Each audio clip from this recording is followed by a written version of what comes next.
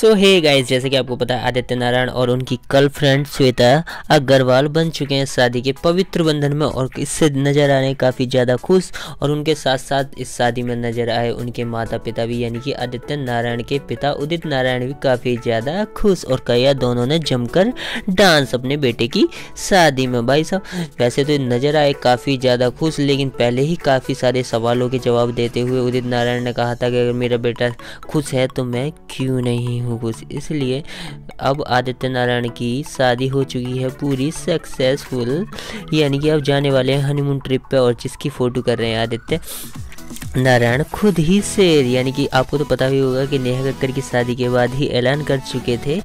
आदित्य नारायण के मैं भी करने जा रहा हूँ शादी। श्वेता अग्रवाल से यानी कि मानो कि वेट ही कर रहे थे कब नेहा कक्कर शादी करे और कब मैं ऐलान करूँ अपनी शादी का। यानी कि अब हो चुकी है फाइनली दोनों की शादी। यानी कि नेहा कक्कर की भी हो गई और आदित्य नारायण की भी। तो बताएँ किसकी शादी आपको सबसे ज़्यादा पसंद आई? वीडियो में कमेंट कीजिए, लाइक, शेयर और सब्सक्राइब कीजिएगा। चैनल को लाते रहेंगे आपके लिए ऐसी बहुत सारी अपडेट भरी वीडियो।